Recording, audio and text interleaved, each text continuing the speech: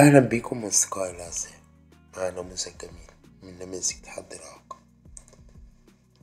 تحديات كتير وصعوبات كتير. بتواجهها صديقتنا الجميلة. لكن بقوة إرادتها وعزيمتها بتواجه التحديات والصعوبات بإرادة قوية وعزيمة وإصرار صديقتنا الجميلة بسبب إصابتها بالكانسر. فقدت أحد لكنها بقوة إرادتها وعزيمتها بتواجهها بكل شجاعة.